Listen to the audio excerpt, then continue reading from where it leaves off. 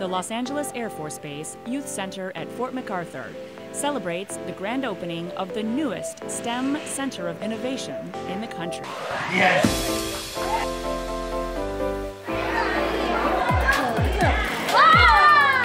I'm actually a STEM warrior.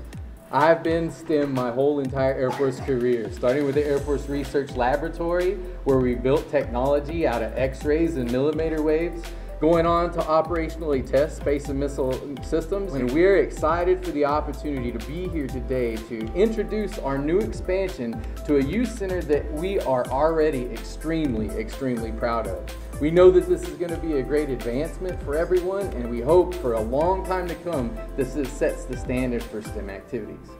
Raytheon, in partnership with the Boys and Girls Club of America and DoD, is working to create STEM centers on or near U.S. military installations, inspiring the children of service members to get interested in science, technology, engineering, and math.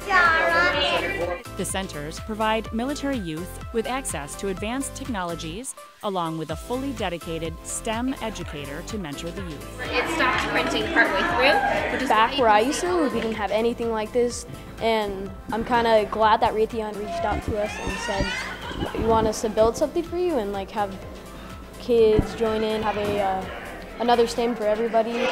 I think it's really cool. The LA Air Force Base facility is the newest center to join 14 others across the United States. Every military child deserves this opportunity. Providing that opportunity is our responsibility and our privilege.